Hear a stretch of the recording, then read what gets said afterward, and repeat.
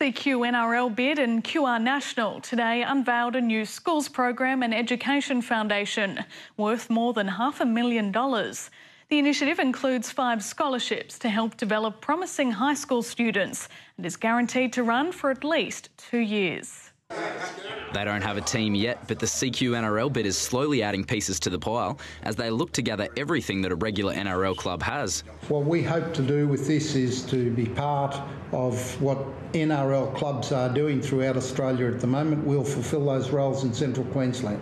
The Schools and Education program will see the bid team visit up to 120 primary schools in the region where they'll conduct coaching clinics and promote healthy, positive lifestyle choices.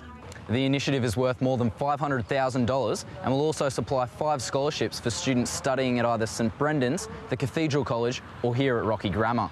They will bring, give opportunities for disadvantaged youth in the region to either realise their educational uh, aspirations or their sporting aspirations. The recipients between 12 and 15 years of age will receive mentoring by former NRL players from Central Queensland, as well as financial support for the cost of schooling and sporting endeavours.